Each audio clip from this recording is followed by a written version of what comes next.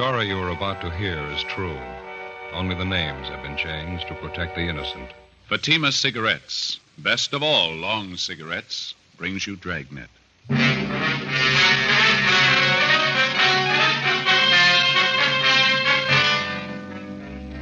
You're a detective sergeant. You're assigned to forgery detail. A United States postal inspector comes to your office.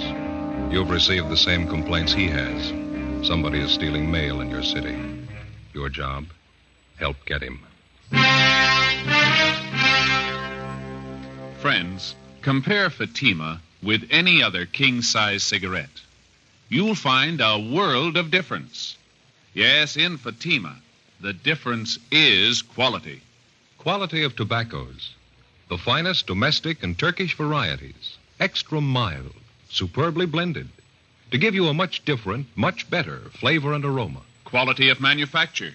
Smooth, round, perfect cigarettes. Rolled in the finest paper money can buy. Manufactured in the newest and most modern of all cigarette factories. Quality.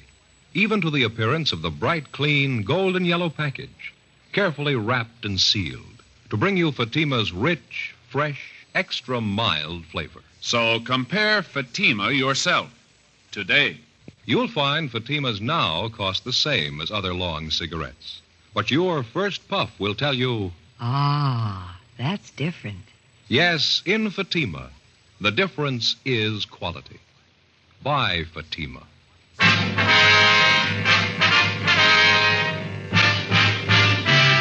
Dragnet, the documented drama of an actual crime. For the next 30 minutes, in cooperation with the Los Angeles Police Department, you will travel step by step on the side of the law through an actual case transcribed from official police files. From beginning to end, from crime to punishment, Dragnet is the story of your police force in action. It was Monday, March 3rd. It was raining in Los Angeles. We were working the day watch out of forgery detail. My partner's Ben Romero. The boss is Captain Harry Elliott. My name's Friday. It was 7.45 a.m. when I got to room 29. Forgery detail. Morning, Joe. Hi, Ben. Sure coming down out there. Hmm. Yeah. Look at this coat. It's soaking wet. Is that the same trench coat, that English one? Yeah. Ever since I had it cleaned, it seems to soak up the water a little more.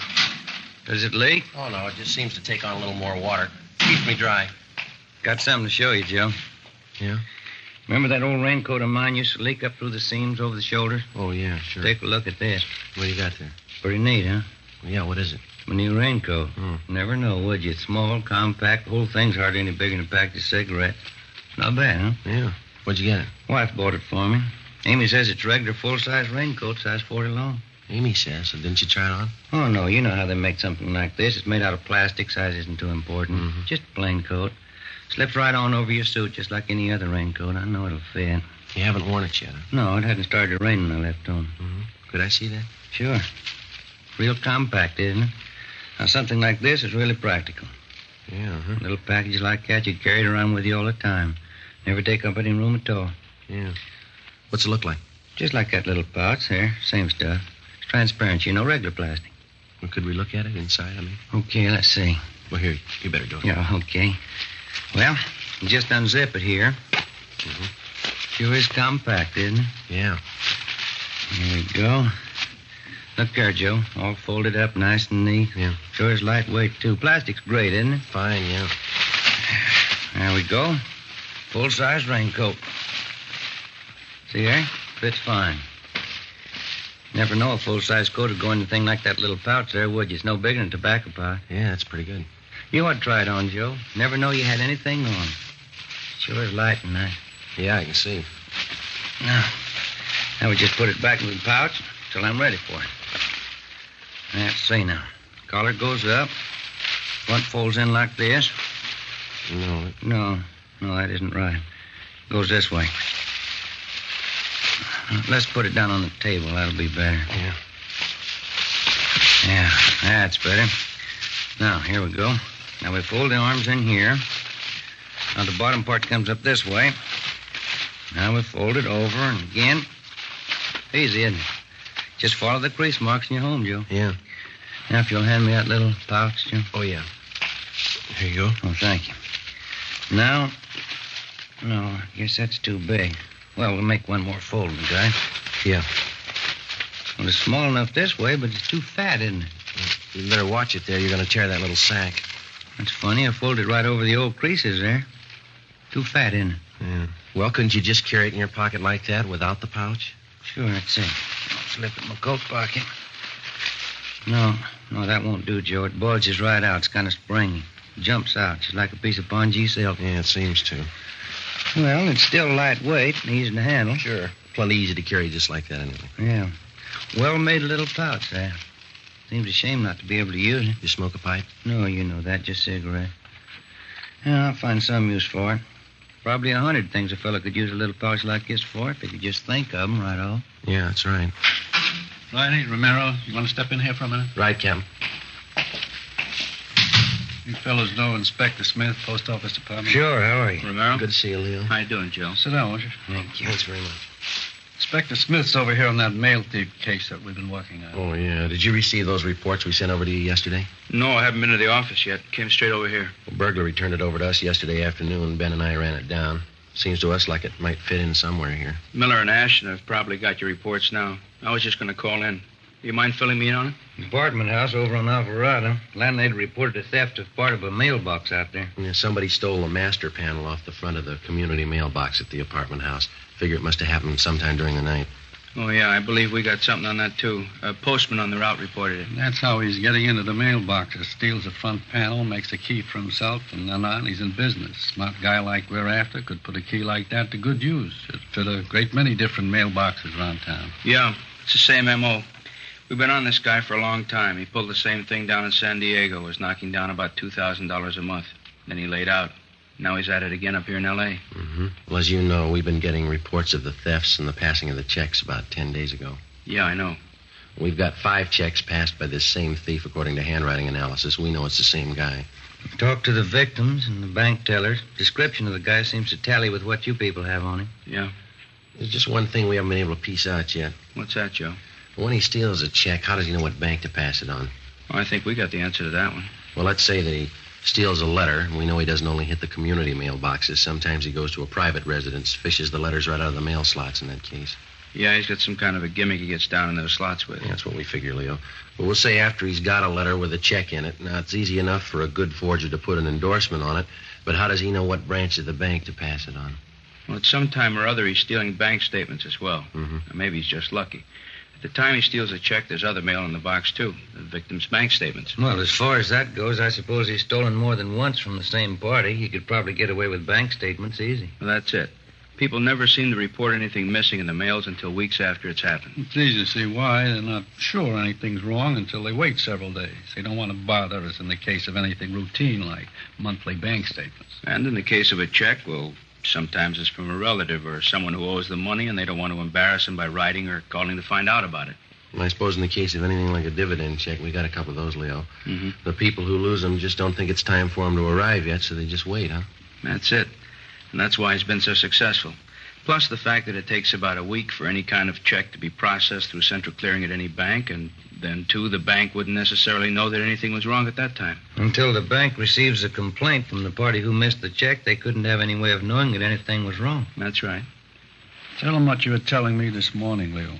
Well, you people aren't in it deep enough to know this yet, but this guy's been hitting the same branch bank maybe two, three times in a row. Not here in L.A., had he? No, not yet.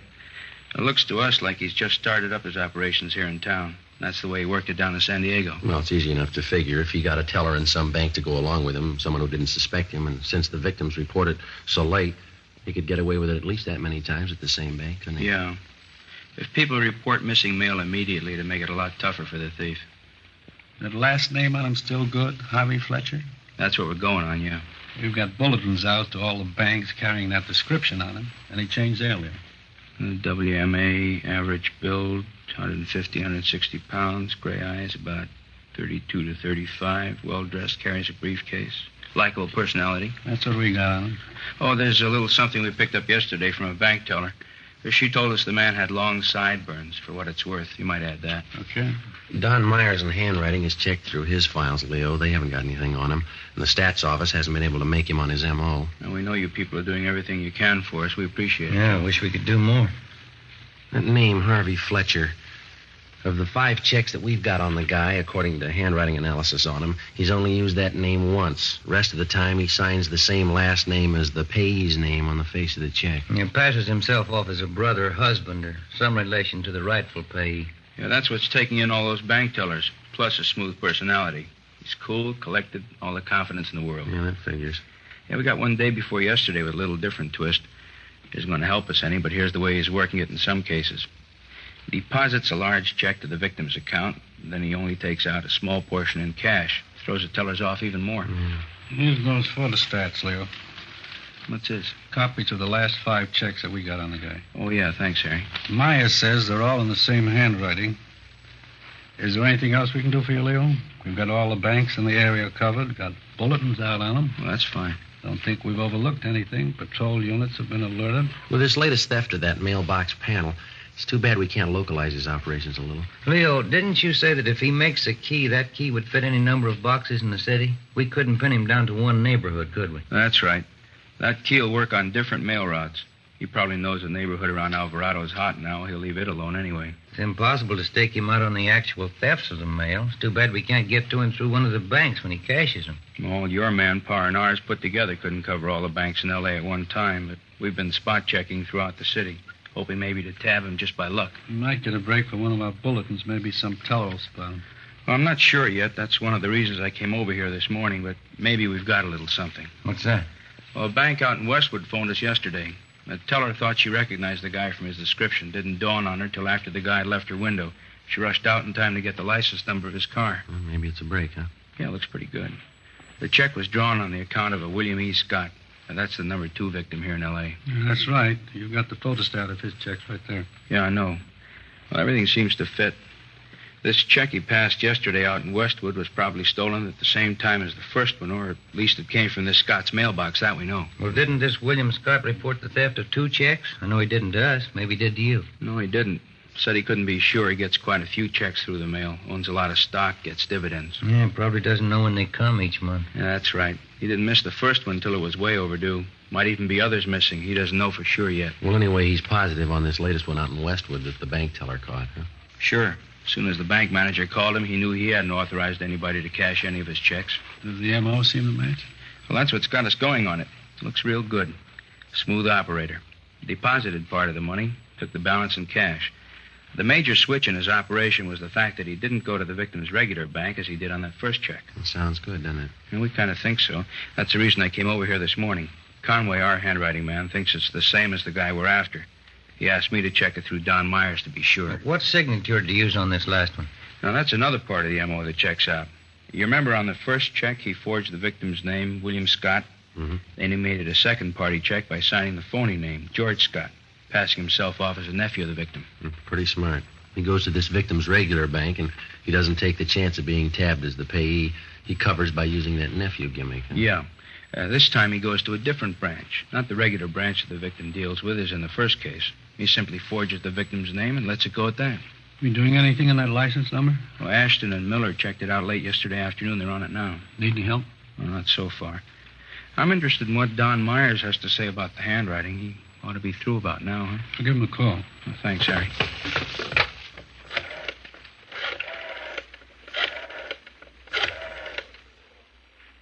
Hello, Don. Who's this? Uh, this is Elliott. You know if Don's checked that stuff through for Inspector Smith yet? Okay, thanks, Lon. No, that's all right. We'll get to him. Don was called out of the office for a minute. That was Sloan. He says he's sure Don's finished with it. Oh, fine. You say when he'll be back? He just ducked down to Thad Brown's office for a minute. I'll call down there for you. Well, that's all right. I'll walk down there myself. I need the exercise. Okay. Go and I'll walk on down with you. Oh, swell. Let's go. All right. You fellas will be back here once. Oh, sure, as soon as I check with Myers. All right.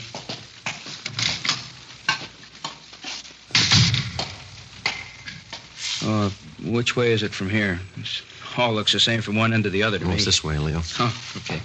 This affects you like the federal building does me. I get all turned around up there. yeah. Well, those fellas down in San Diego have had a rough go on this thing. Yeah, I was talking to McGuire and Ormsby down there just the other day. They said they were going around in circles on it. They broke a lot of ground for us. Checked out a lot of suspects, cleared them. Checked out all that stuff that Brereton from CII sent down. Yeah. You know how thorough that guy is. It figures they've done a lot of legwork. Uh, Friday, you say you just talked to him down there? Yeah, that's right, Leo. Well, then you know about all those bulletins they got on the guy. Description, exemplars of his handwriting. Mm-hmm. Sent them to every police department in the United States. It's a big job. Mm-hmm. I'll go get Don. It's right in here. Thanks, Joe. Right. Don? Yeah, Joe. Leo Smith from the post office department's waiting to see you. Right, Joe. I was just on my way back to the office. Fine.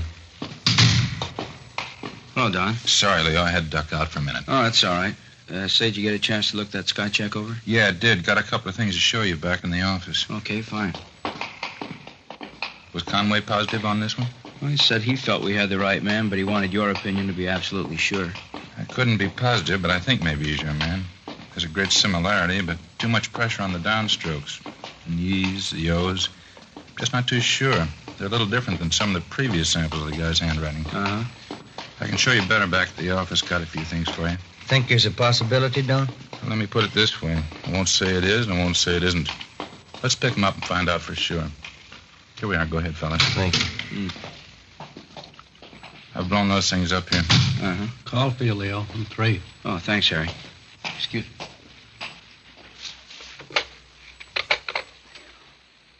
The Smith talking. You did? Uh huh. We did. All right, look, uh, why don't you bring him down to forgery detail here at the city hall? We'll talk to him here. Right, Ed. Right, thanks. Well, looks like the end of the trail. That was Ashton. He and Miller picked him up. He's our man, admitted the forgery. Looks like San Diego did all the work and we get all the luck. Anyway, we got him.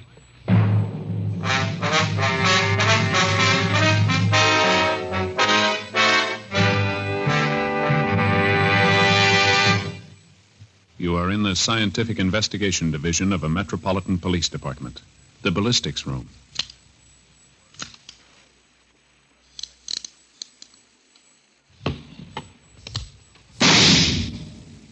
You have just heard a test bullet fired from a 38 caliber revolver found in the possession of a suspect. The test slug is removed from the ballistics box and compared with the slug found at the scene of the crime. There they are. Side by side, they look alike. But examination will prove a world of difference. Now, examine a Fatima. Compare it with any other king size cigarette. Side by side, they'll look alike. But right away, you'll find there's a world of difference. Yes, in Fatima, the difference is quality. You see, Fatima is the quality king size cigarette because it contains the finest domestic and Turkish tobaccos superbly blended. And Fatima is extra mild with a much different, much better flavor and aroma than any other long cigarette. So compare Fatima yourself. Fatimas now cost the same as other long cigarettes, but your first puff will tell you Ah, that's different. Yes, in Fatima, the difference is quality. Ask your dealer for Fatima, the quality king size cigarette. Best of all long cigarettes. Start enjoying Fatima tomorrow.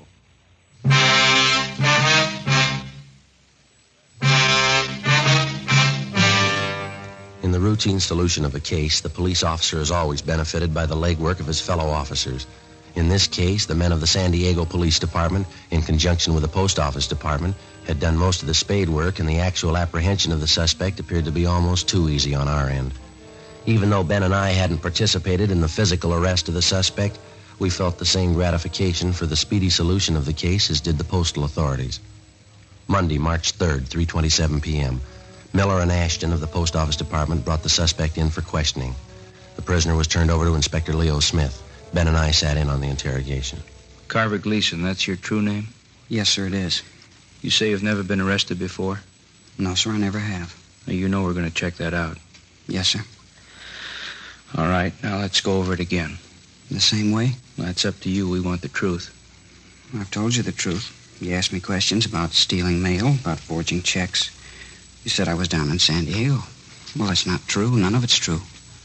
Have you ever stolen from the mails? No, sir, I never have. I know that's a pretty serious offense. What makes you think forging isn't? Is That what you're trying to say? No, I'm not. I didn't say that, but this was the first time I've ever done anything like this. I didn't even think about the consequences. Should have thought about them. When's the last time you were in San Diego? I've never been there. I Don't even know for sure where it is. How long you been in Los Angeles? About three months now. Where's your home? Akron, Ohio. How old did you say you were? 25. And what have you been doing since you got out here? Uh, well, that's just it. Nothing. Can't find a job. Well, how you been getting by? How you been living? Been staying down at the YMCA. Hope Street, I guess it is. What have you been doing for money? Well, my folks gave me a little when I left Akron. Thought I'd have a job by now. I didn't want to write home for any more, so when I found that check, I figured I could get away with it. I needed money, and I cashed it. And where'd you say you found it? Over on, um, well, that street out that way, uh, La Ciganega. Is that how you said? La, La Cienega, yeah. Now, what were you doing out there? Well, I was answering an ad in the classifieds, trying to find a job. I had to park the car down the street from the place, and on my way back, I found this check on the sidewalk right near the bank on the corner. Where'd you get the car? It's my father's. The car's registered in your name with California plates. How do you explain that? Well, the folks told me when I got to California to go right to the authorities and register the car if I was going to stay so I wouldn't get in any trouble. That's where part of my money went. You got anything else you want to tell us? Well, I did it. I admit that. Mm-hmm. I want to make it up somehow. The check was for $57. I gave the men that arrested me 50 of it, and I spent $7. Yeah, that's all on the record. I did wrong. I'll pay the $7 back. Well, you can take that up with the judge, Gleason. Friday, Romero, you want to step outside with me a minute? Yeah, right. Gleason, you wait here with that officer. Yes, sir. And what do you think? He's telling the truth. He's not the one we want. How about you, Joe? Yeah, I'll go along with Ben. Well, that makes three of us. Monday, March 3rd, 5 p.m. We went in and checked with Don Myers. In carefully going over exemplars of Carver Gleason's handwriting, he had definitely eliminated him as our suspect. Carver Gleason remained in custody awaiting trial. Three months went by. During this time, the burglaries and forgeries continued. Suspects were picked up, checked out, and released. We got nowhere. Tuesday, July 12th. We received a communication from Chief Adam Jansen of the San Diego Police Department, who stated he was forwarding a radiogram from Chief John W. Polcyn of the Milwaukee, Wisconsin Police Department. The radiogram from Chief Polcyn stated that his handwriting man in Milwaukee had identified the suspect's handwriting as listed in one of the San Diego bulletins as belonging to Philip E. Holloway. Holloway was arrested two years previous on a reckless driving charge. The physical description of the man matched closely with the one that we'd received on the suspect known to us as Harvey Fletcher.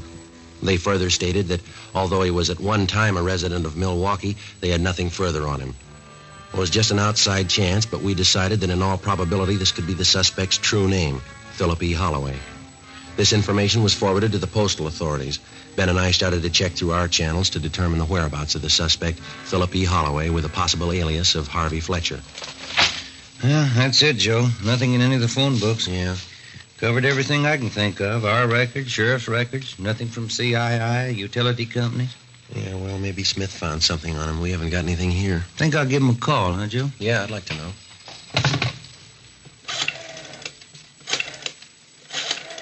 That's extension 664. Yeah, I know. Yeah, 664. Hello, Inspector Smith, please. How's that? Oh, I see. No, that's all right, thank you. He's on his way over here. He left five minutes ago. I sure hope he's got something. Joe, Ben, Hi, Leo. Well, think maybe we ran it down. good. How'd you do it? Through the Postal Service? Yep. Didn't figure, did it? Well, we didn't think he'd stay put long enough to have a permanent address. Well, he's been on the move, but we got the last known address on him. Received mail there two days ago. You want to check with Don Myers? He's been working over those exemplars Milwaukee sent us. I just did. Called him about 15 minutes ago. Oh, we just got back from R&I. What do you have to say this time? Well, he and Conway agree all the way this trip. Yeah? Holloway's our man. Together with the postal authorities, Ben and I helped in the 24-hour surveillance placed on the suspect, Philip E. Holloway. Our findings disclosed that he was living in a modest apartment house and he was employed by a local vacuum cleaner company as a door-to-door salesman. This type of occupation would enable anyone to have suspicion-free access to any and all types of home mailboxes. The first three days of the surveillance failed to disclose any further incriminating evidence. Thursday, July 17th, fifth day of the 24-hour surveillance, 2.30 p.m. Holloway came out of his apartment building, got into his car, and drove approximately four miles to the Echo Park residential district. He parked his car, got out, and went up the steps of a small apartment house. Together with Inspector Leo Smith, Ben and I followed him. You want to pull up here, Ben? This is good. Yeah, all right. Yeah, he's going for that mailbox, isn't he? Yeah. He's got the key. He's opening the panel. Not a worry in the world. Broad daylight. Look at that. He's got all the letters out of the box, got them in his pocket. On his way back to his car. Leo, there's a bank right up there on Sunset, see? Okay, let's stay with him. How's it look, Joe? You can see up ahead there. Is he pulling out? Wait a minute. All right, let's go.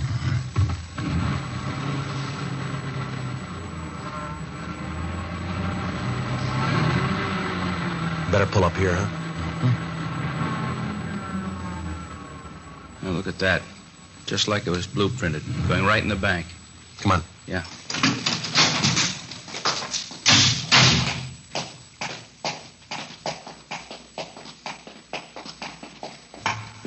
Joe, you see him? There he is. Second window. Let's get in line right behind him. All right. Yes, sir. May I help you? Yes, I wonder if you can cash a check for me? Yes, sir. Would you endorse it, please? Surely. There you are. As you can see, this is one of my mother's checks. I guess I can cash it all right for her. Do you have any identification? I'm sorry, I don't. I'll say I have this envelope the check was mailed in. Will that do? Yes, I think that's all right. How would you like this, sir? He doesn't want it anyway, miss. Just hold that check for us, please. Postal inspector. Yes, sir. I beg your pardon. I believe you're making a mistake here. No, there's no mistake. Come on, step over here. Shake him down. I don't understand all this. That key you used over there on Baxter Street, that the one you made from that panel you stole over on Alvarado about four months ago? You know about that, huh? Yeah, we do. I did all right for a while, didn't I? That key angle's a pretty good one, isn't it? There isn't a lock in the world I can't make a key for. We got one in mind you might have trouble with. The story you have just heard was true. Only the names were changed to protect the innocent. On October 15th, trial was held in United States District Court, State of California. In a moment, the results of that trial. And now, here is our star, Jack Webb. Thank you. Friends, all of us on Dragnet are convinced that Fatima is the best of all long cigarettes. We think you'll like them as much as we do. But the only way you can tell is to buy a pack of Fatimas and compare them with any other king size cigarette. Now, side by side, they'll look alike, but in Fatima, the difference is quality. Quality that gives you extra mildness, a much better flavor and aroma. Compare Fatima. You'll agree Fatima is the best of all long cigarettes.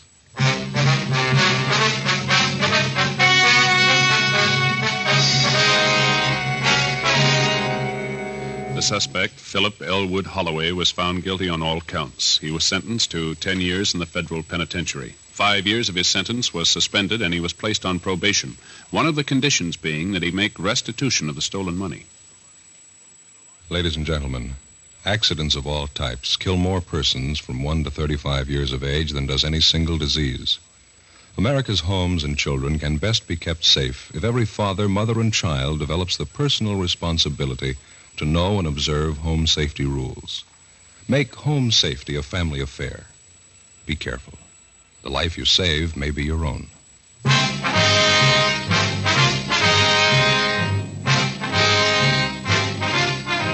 You have just heard Dragnet, a series of authentic cases from official files. Technical advice comes from the Office of Chief of Police W.H. Parker, Los Angeles Police Department. Fatima Cigarettes, best of all long cigarettes, has brought you Dragnet, portions transcribed from Los Angeles.